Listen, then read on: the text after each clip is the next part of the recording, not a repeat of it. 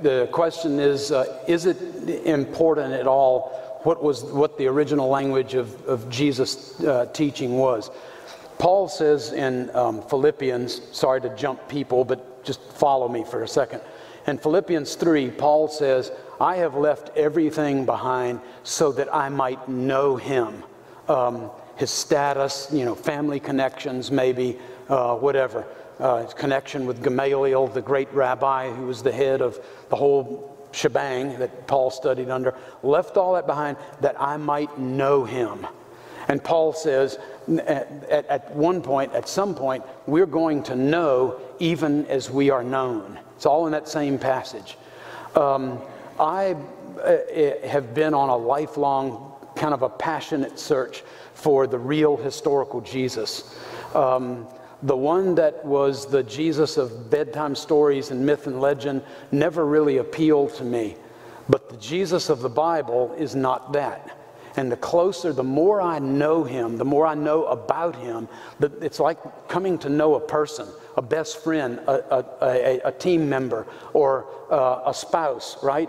The more you know, the, the, the, the, the more you become. Know, like they say, old folks, they start looking like one another. The, the more you become like. Um, it's a part of the process of transformation. And so it's maybe not a huge thing, it's maybe not a gigantic big deal, but it's a little deal, and I'll take every little deal that I can get. So um, uh, there, the popular idea is that uh, Jesus spoke uh, Greek and Aramaic. The evidence, and we discuss this at length when we're riding down the road in the bus, when we have time in the evenings to sit and discuss over dinner and stuff, when we're on site, when we're in the land of Israel. We got two full weeks to unpack this stuff. So, what I do in those, at those various points, I just did it to some degree in answer to a question. There was a private discussion up here, is that there is a ton of evidence about inscriptions and ancient literature. Um, uh, uh, place names, coins, and that sort of Dead Sea Scroll stuff that is pushing us in the direction that Jesus is a native Hebrew speaker. And then there's this clincher, and that is when you can take the Greek of the New Testament that we have have the words of Jesus preserved in. And you have these really interesting little idiomatic expressions like to give a ring on the finger or and he answered and said, which don't show up in, uh, in ancient Aramaic literature then you go, okay, well, is that stuff in Hebrew literature? And bam, you see it all over the place. So it's, it's, it's also part of loving God with all of our minds. We can let it go mush, but they're telling us now that one way to fight off Alzheimer's is to use your head, to use your brain. I think it's also the way you survive being a teenager. You don't have to tell anybody I said that, you know, uh, of, the, of the younger group, but yeah, I remember when I was 19, I'm riding down the road and I had this flash, that uh, uh, this kind of aha moment. I can't wait to stop doing stupid stuff. You know? So the Bible says, love God with all of your mind. That's part of the way we worship God is to study, to learn, to think, um, and to make decisions that make sense and stuff like that. It's one of the ways that we, uh, that we worship God, that we love God. So this is just an opportunity, as far as I'm concerned, an opportunity to worship. Thanks for joining. All right, I told you that we were going to compare the parables of Jesus about fathers with an example from the early rabbis. So this comes from a Bible interpretation it's like we would call it a commentary. It's called Shir HaShirim Rabbah. You don't have to write that or memorize that either. But the comment, the, the reference is to the passage in the Song of Solomon, which we never read, study, you know, preach on, etc. I know. But, O my dove that art in the cleft of the rock. This is Song of Solomon 2.14. It was taught in the school of Rabbi Ishmael. So now you are in a Beit Midrash a place of study. There's a rabbi sitting in a chair or on a stone. This is what we hear about in the literature. And he teaches from a seated position. You hear this about Jesus all over the place. Um, you hear it about the rabbis in, in ancient rabbinic or rabbi literature. And so now we're in a school, and you have disciples sitting in front of the rabbi.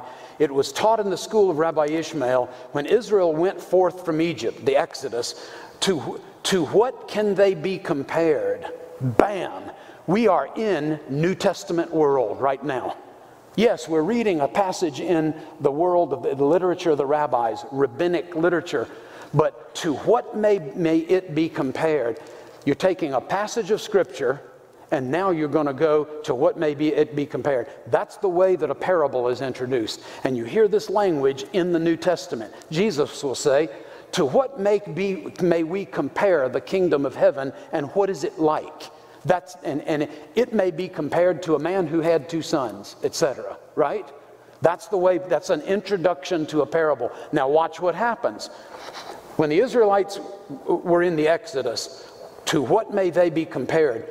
It, they may be compared to a dove that was fleeing from a hawk and flew into the cleft of the rock, but found a serpent lying there, right? So they got the Red Sea and they got Pharaoh closing in on them, a hawk and a serpent. When it tried to get right in, it couldn't because the serpent was lurking. When it tried to get back, it couldn't because the hawk was hovering outside. So, what did the dove do? It began to cry out and beat its wings so that the owner of the cote, that collection of uh, doves, would hear and come to its rescue. That's one of the things that owners do. That's one, things, one of the things that good shepherds do. It, you know, the lost sheep, it's one of the things that God does. Keep watching. This was the position, this is all Shir Rabbah. This was the position of Israel at the Red Sea. They couldn't go down into the sea because it hadn't been divided yet. They couldn't turn back because Pharaoh and his armies had all drawn near. What did they do? The Bible says in Exodus 14, they always have a Bible verse. Jesus, even if he doesn't specifically quote it, he's always got a Bible verse behind. He says to the people who wanted to stone the woman, quote, caught in adultery, she never really was, it was never proven. I don't know why we still refer to it that way. But anyway, he says, Let those who are without sin among you be the first to cast a stone at her. That phrase, be the first to, only shows up one time in the whole Bible. It's in the book of Deuteronomy, and it's referring to um, witnesses who are accusing someone who's accused of a crime. And it says, the hands of the witnesses will be the first to come against the accused.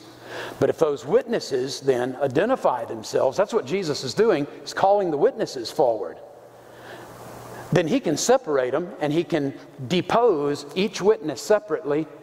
If they don't both tell the same story, which they're not going to do because they're going to be false witnesses, then the, according to the book of Deuteronomy, that same passage, those witnesses are put to death and the accused is set free. That's the reason you hear the stones dropping in John chapter 8. That's the reason you see the people who had this crowd that had brought that woman, quote, caught in a, the very act, um, why they all leave. And he says to the woman, Woman, where are your accusers? She says, There aren't any, Lord. They're all gone. All those rocks, they're all sitting out there as silent witnesses that these people had come and accused her falsely. And that's when Jesus says, Neither do I condemn you. So Jesus is not overthrowing the law of Moses as though, well, that part of the Bible is not true anymore. That part of the Bible is not relevant anymore. That's not what Jesus is doing. Jesus is saying, Look, if you want to talk Torah, we're going to go by the whole book, even the parts you don't like, even the parts that aren't convenient for your purposes right now. And the stones began to drop because nobody wants to step forward and own that because they know what Jesus is going to do. They know that court was now in session. Real court, not trumped up court, and not, not, the, not lynch mob court. But he was going to do it according to the word of God. And they couldn't handle it, and they bailed. You've seen that happen before, right? It's, eh, eh, if, the, if the eh, if the heat's too hot, get out of the. Yeah. They were sore afraid. And the children of Israel cried unto the Lord. And then immediately, they just skipped down about 15 verses. Thus the Lord saved them on that day. So Rabbi Judah said in the name of Rabbi Chama of Kafar Techumin, this is kind of that, I memorized this from my teacher and I'm going to pass it on. That's what we're getting in our Gospels. Jesus, his disciples, and they're writing and passing it on to you and me. It's that chain of transmission of an authoritative tradition. So he says in the name of Rabbi Chama, it's like a, that's the language of parable. It's a comparison. It's a snapshot of everyday life compared to some spiritual reality. It's like a king who had an only daughter. Now I want you to watch this. That means he's a father, right? If, if you've got a daughter or a son, that makes you a dad. Okay, so now we're talking about father and children, just like Jesus was talking about father and children. Okay, so Jesus is doing parable, and he's using parable, and he, com- he introduces parable in the same way that the rabbis are doing. And now the content of the parable is going to be much the same that Jesus does. It's about family, it's about God our Father, it's about us, his children. And it has, it's, it's containing aspects, revealing aspects of this God that we serve this father that we've come to as his sons and daughters.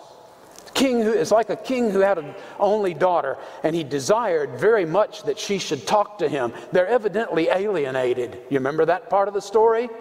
Foreign land, far distant land, stayed there for years.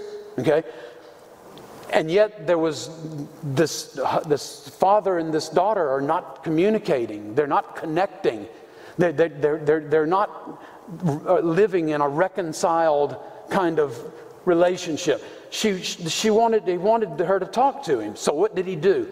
He made a proclamation and said, Let all the people go out to the arena. Remember that he's a king. And by the way, that's just almost automatic. You know, this is God, this is representing God. Go out to the arena. And when they went there, what did he do? He gave a sign to his servants. We've heard about servants, yes? You know about servants, okay. They attacked her as though they were thieves. So she began to cry out, Father, save me. And he said to her, If I had not allowed you that slack in the rope, allowed you to make a mess of your own life, in a sense, allow you to get in trouble, to have need of me, to recognize that you have need of me, you wouldn't have called out, Father, save me. Is that not true of you? That's sure true of me. There's no reason to get saved until you know you're lost. This is what's happening here. So what's happening in Jesus' parables. She began to cry out, Father, save me. And he said to her, If I had not done this, you wouldn't have cried out, Father, save me. Okay, we're going to go on to yet another uh, session, and I've got about a half an hour. You going to hang with me on this? All right. Thank you. Thank you very much.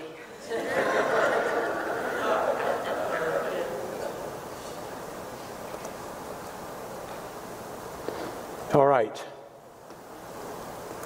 Paul's Damascus Road experience.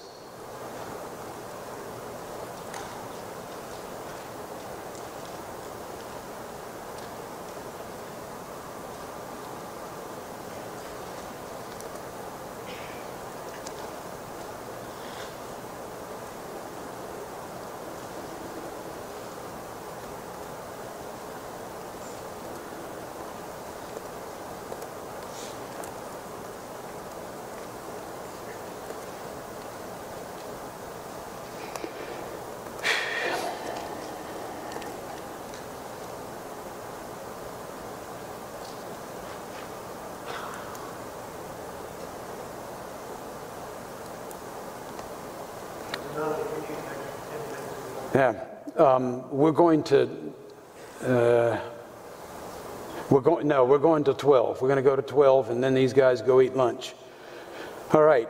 So we're looking at a map of the land of Israel. Uh, you're looking here at uh, the. Sorry. Let's do it again. Okay? Map of Israel, Dead Sea, Mediterranean coast, Sea of Galilee. Got your bearings? Okay.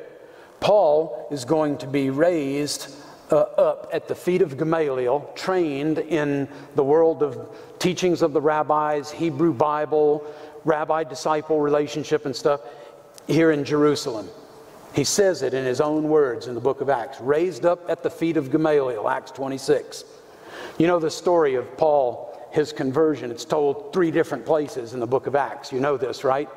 It's not just Acts 9, it's told again in chapter 22, and then it's told again in chapter 26. And it's really a cool study to have those either copied and pasted or write them out or something like that in parallel columns so that you see the similarities and differences in each of these accounts. It's not like one of them's wrong and the other one's right. It's, you know, each time you tell a story, you add some little component or whatever, and that really fills the story in. It's pretty cool. So in chapter 26, we find out that this whole story of Paul in, is, is, starts out in the, in the city of Jerusalem. He will eventually go down, uh, if he's going to Damascus, he's going to do it this way Jerusalem Jericho Road to Jericho. Turn left. There's probably a road sign there. Damascus you know, 155 miles. Maybe it's in Stadia or something like that. Anyway, he goes up the, uh, the lower Jordan Valley. He goes past the Sea of Galilee. No doubt he goes on the western side because he doesn't want to cut through Gentile territory yet. He wants to stay in Jewish territory as much as he can. He goes on up to, we see the word Dan. Are you able to see that there? Okay. All right, then we're going to do it like this. He goes on up to Dan and then Caesarea Philippi. And then there's this big barrier right here. It's called Mount, um, gosh, I forgot. Yes, Hermon, thank you. Um, Mount Hermon right here. And so you don't go through the mountains, especially if you're going to Damascus, you go around the edge. So let's take another look. And we're going to skip that and that. And we're going to look at we're going to look at the, um, at, a, at the satellite. So again, we're in Jerusalem, down to Jericho. You see it? Up the lower Jordan Valley River, around the west side of the Sea of Galilee, not going in Gentile territory, cuts up the upper Jordan Valley and comes to Caesarea Philippi. And now he's got to get to Damascus. Which direction? How is he going to go? You take a long road or the, or the short road. You take the high road and I'll take the low road. Anybody? I'll be in Scotland. Yes. I learned that from my dad. He was our radio back in the day. All right? Straight up to Damascus. In this picture, we're standing outside of the restaurant that you're going to have lunch in on your probably second or third day an, another Druze restaurant. Awesome spot. And you're seeing part of Mount Hermon in the background. What's on top of that mountain? Exactly, year round.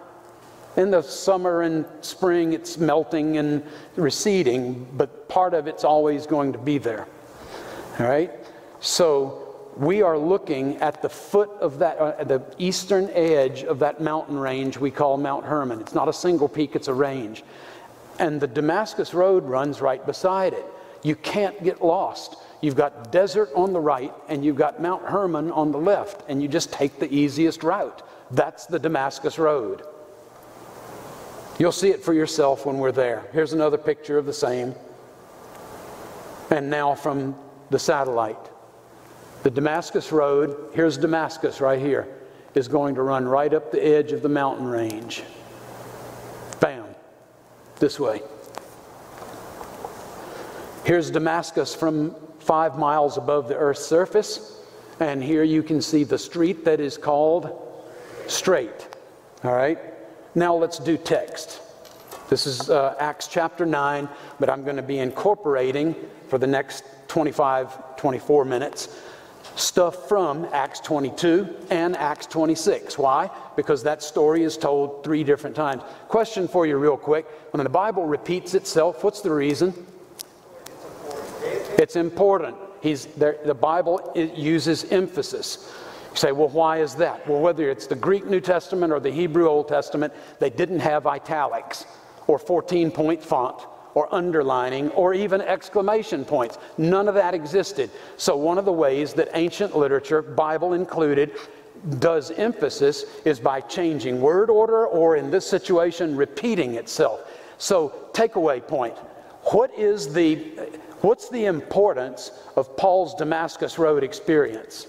Look through Luke's eyes, look through original readers' eyes. The salvation of Paul Paul committing his life to the mastery of Jesus and becoming the apostle sent to the Gentiles is going to be is going to signal what for the church? The history, the life of the early church. This is a major turning point. What would it have been without the rest of the book of Acts, without Paul's missionary journeys, without the good news jumping um, ethnic and religious boundaries, to some degree linguistic boundaries, and jumping over into this Greek world. What would it be like if Peter had never preached to the centurion? Paul had never left Caesarea on the sea and gone out into this broader. We are downstream from those events, y'all. Who we are, mostly non Jews, most of us don't live in Israel, don't speak Hebrew, didn't grow up reading, reciting, memorizing the Hebrew Bible. We probably wouldn't be who we are, where we are, doing what we're doing right now. We're downstream from these events.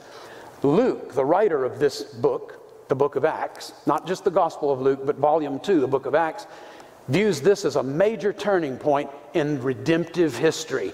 God redeeming a people from every kindred, every nation, every tongue, and every tribe, so that when the book of Revelation is happening, we're all, regardless of color or family of origin or nationality, we are all glorifying the Lamb together as one. Okay, this Luke saw as a major turning point, so important that he he chose what he was going to include and not include in the book of Acts, and he chose to tell this story three different times.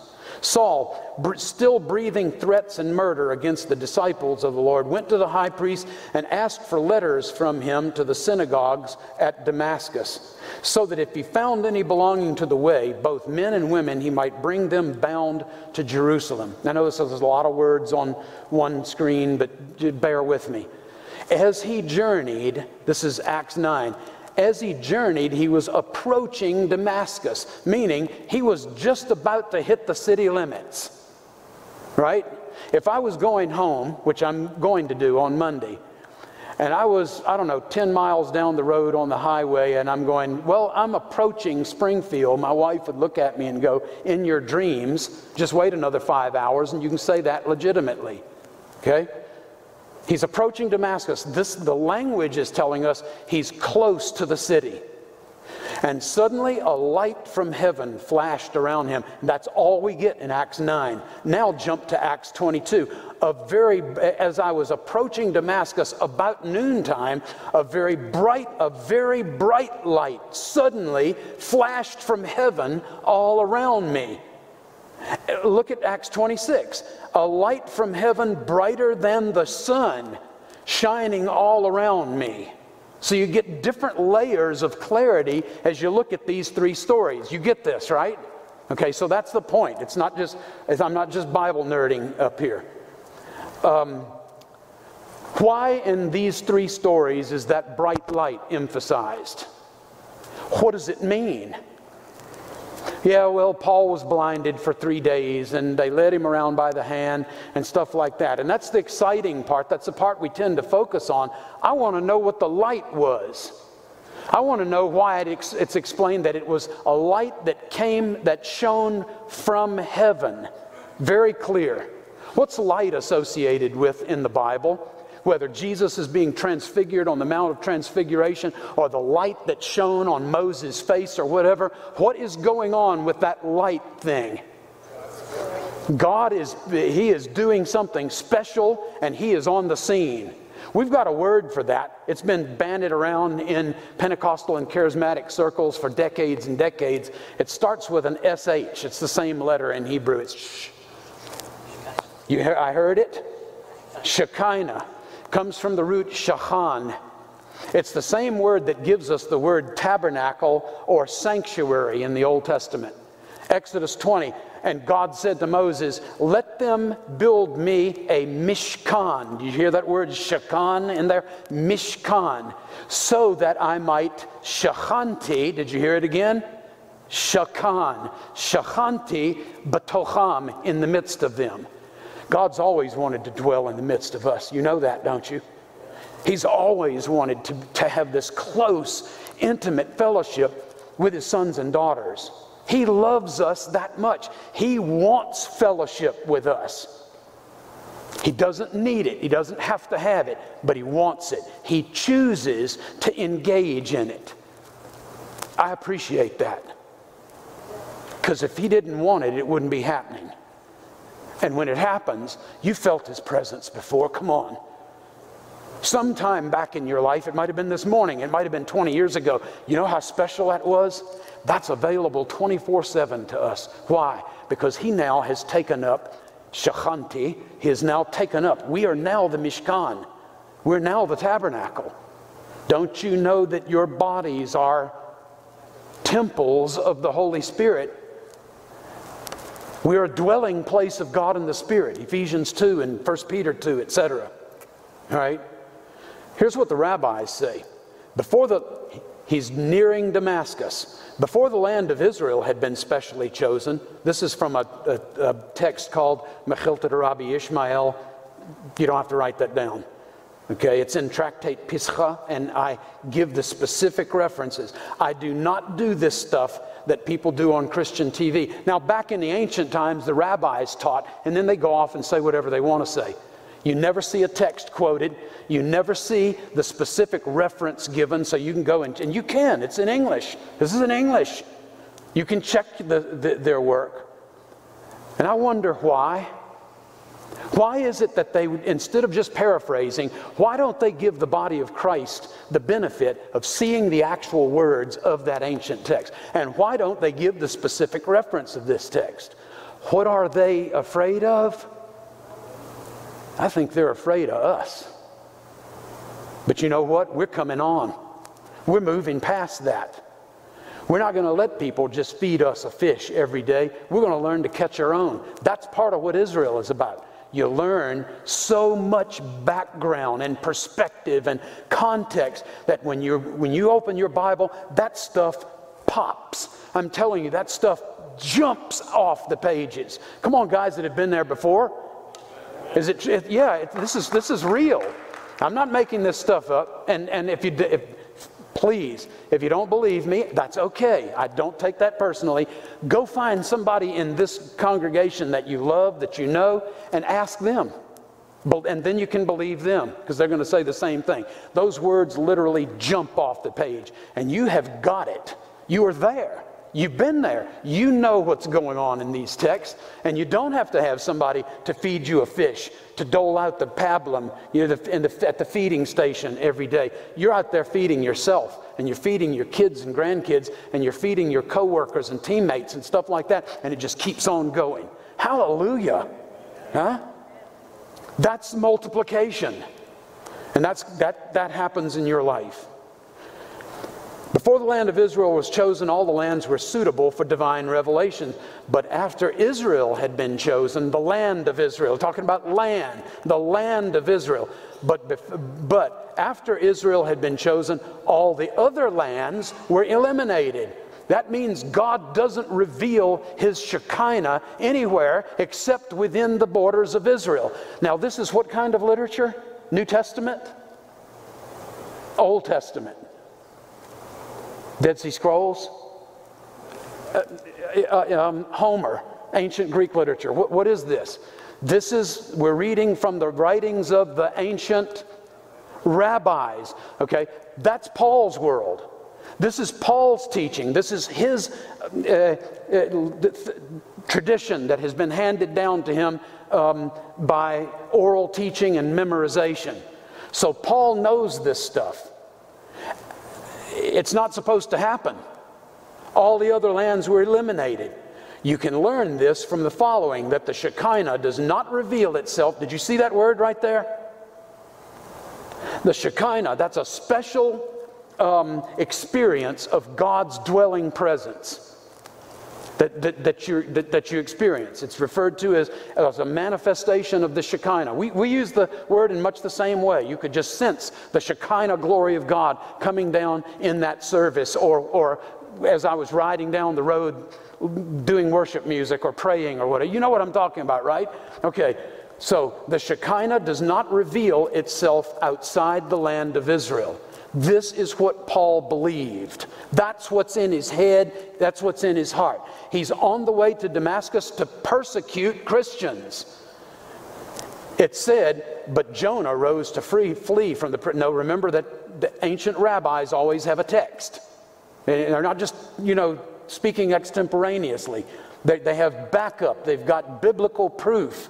Okay? We can learn this from Jonah, who rose to flee from the presence of the Lord at that presence, that Shekinah of the Lord. And Jonah thought, I'll go outside the land. This is a gloss. This is them interpreting Jonah now. I'll go outside the land where the Shekinah can't reveal itself. That way I'll get away from God and I don't have to go and speak to those Gentiles up in Nineveh because I don't want them to repent. I want them to get waxed. I want the, I want the judgment of God to fall on them. They are our enemies. Because since, Uh, since the Gentiles are more inclined to repent, I might be causing Israel to fall into condemnation. So here we have Paul, the rabbi, the student of Gamaliel, the knower of this text from Mechilta Rabbi Ishmael, God doesn't do special revelations outside the land of Israel. And God specifically chose to wait. Could have done it anytime he wanted because he's God. Could have done it in Jerusalem. Could have done it up in the, in the lower Jordan Valley, skirting around the western edge of the Sea of He's got all kinds of time to reveal himself to Paul, but he waits days until he gets almost to Damascus. And all of a sudden, a great light from heaven flashed around him. And Paul fell to the ground and he said, What do you want of me, Lord? He knew what this was. Can you imagine the walls that had to be broken down in Paul's life now by God because God had now revealed himself in his Shekinah glory outside the land of Israel? And then what does he do? This same guy he calls to be the apostle to the Gentiles and send him to the ends of the earth. Isn't that cool? Isn't that neat what God has done? So I'm going to skip forward just a little bit for uh, time's sake. Um, and we hear in Acts 9 that Paul is supposed to bear my name before the Gentiles.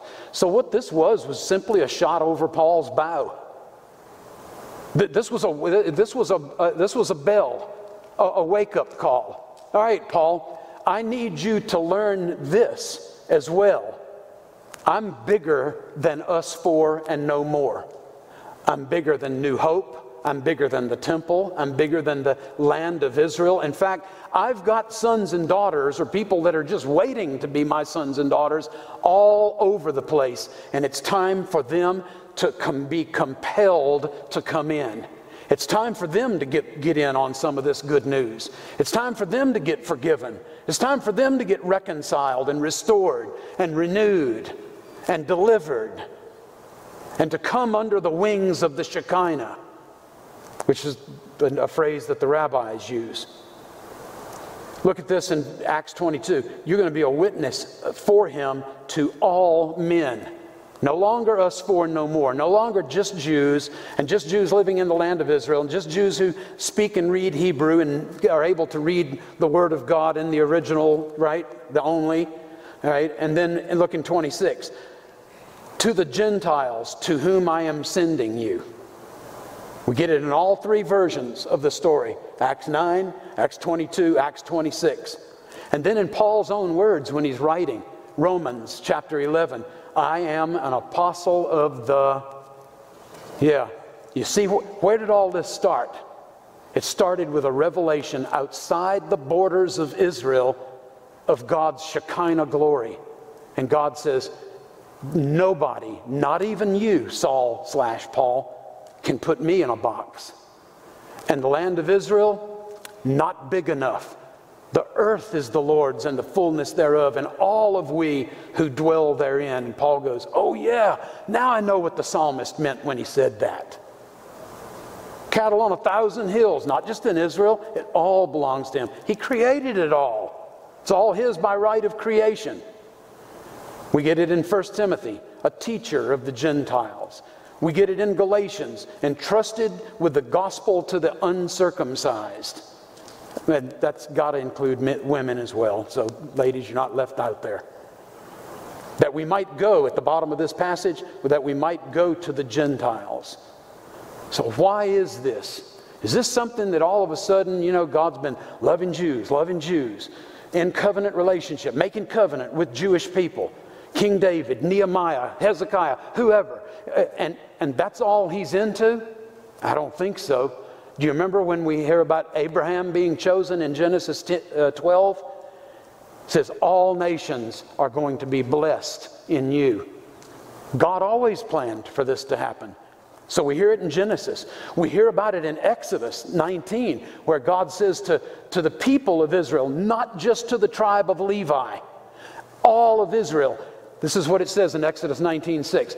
And God spoke to Moses, saying, Say to the people of Israel, You are unto me a kingdom of priests. Well, okay, but now that we're all priests, the whole nation of Israel standing at Mount Sinai, well, who are we priests to? Any ideas? The rest of the world. Yes. And look at the book of Isaiah. Isaiah says in chapter 42, I am Yahweh, and I am going to appoint you, it's plural, and it's talking about covenant Israel, as a covenant to the people, a light to the goyim, to the nations. Isaiah 49 6.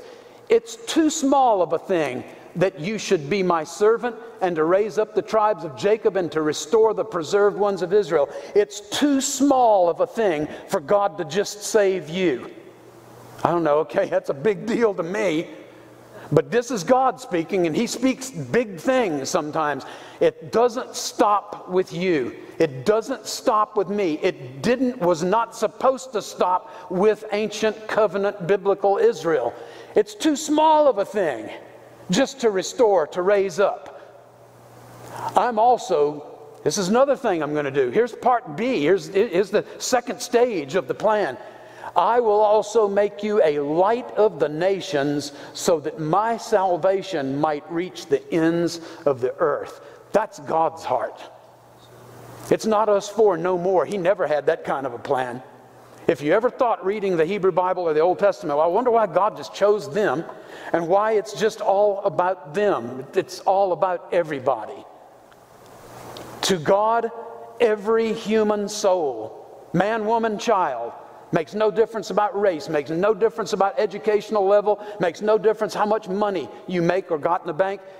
Every soul is precious in God's sight. Why is that? We're all created in His very image. His heart is to be our Father and to have each one of us, and, and I'm not just talking about in this auditorium, I'm talking about out there in Urbandale. I'm talking about out there in Des Moines. I'm talking about out there in the cornfields of Iowa and that highway stretching all the way back five and a half hours to Springfield, Missouri, the other holy city, if you get my drift. Okay? His heart is for everybody between here and there and in all points beyond, that his salvation might reach the ends of the earth. And Jesus would have said it like this you're the light of the world. Remember that light? You are the bearers of that Shekinah, temple of the Holy Spirit. He dwells inside of you. Let your light so shine, light of the world. You are the light of the world. Let your light so shine before men that they see your life, your good deeds. They see you and give glory to your Father who is in heaven. That's the call on our lives. It's not just about, this is not just a story about Paul. This is a story about early Christianity. It's a story about Dark Ages Christianity, what we were supposed to be. It's a story about Middle Ages Christianity. It's a story about Renaissance Christianity. It's a story about us. We are still supposed to be the lights of the world so that the rest of the world gives glory to our Father in, who is in heaven because of what He's doing inside of using you and me. We are the priests with that kingdom of priests. 1 Peter 2 9. But you, plural, and he's talking to the, these are general epistles. You know what general epistles are? They're written to everybody, right? Not just written to Timothy, written to Titus. This is to the body of Christ as a whole or at large. You are a chosen people, a royal priesthood, a holy nation, that you might declare the excellencies of him who called us out of darkness and into his light. There it is again light. That special dwelling presence of God, revelation of God, Shekinah glory of God that has taken up residence inside of you and me, the temple, the tabernacle. The Holy of Holies is literally the word that Paul uses in 1st and 2nd Corinthians. Don't you know that your bodies are the Holy of Holies of the Holy Spirit? Let's conclude in prayer, could we? Father, thank you for giving us this opportunity of having another boot camp. Um, some of us were bummed because the trip is put off. Others, hey, that's okay. It just gives me more time to save more shekels. Lord, I pray that everybody's heart that you've touched this morning would have been warmed by the, by, by the intense um, uh, heat of your word and that it sears like a hot iron inside of us, and that, it purifies and that it uh, protects and, and, that it, and that it provides for us an equipping to be more effective as your priests, as your light bearers as your temples walking around Urbandale day to day. I pray, Lord, that those that whose hearts have stirred them, that you give them the wherewithal, the ability, the details, the logistics, the time off from work, the, you know, somebody that can take care of kids or grandkids, the, the, the, the monetary ability to take part in a trip like we're talking about. And for those, I pray that whatever is instilled in them as we study in place in the original context, in high def and 3D, with the realities of the Word right in front of, uh, of them, I pray, Lord, that you do an even deeper equipping and prep preparing to be that kind of light bearer that you've called us to be. And then, Lord, I pray that it impact this church and take it to the next developmental stage in a major, major way, Lord. And then, even beyond that, even beyond that, I pray that as Malachi says, that people outside in Urbandale and Des Moines will be, will be saying, Great is the Lord, even beyond the borders of Israel. And I pray this in the name of your Son, Jesus. Amen.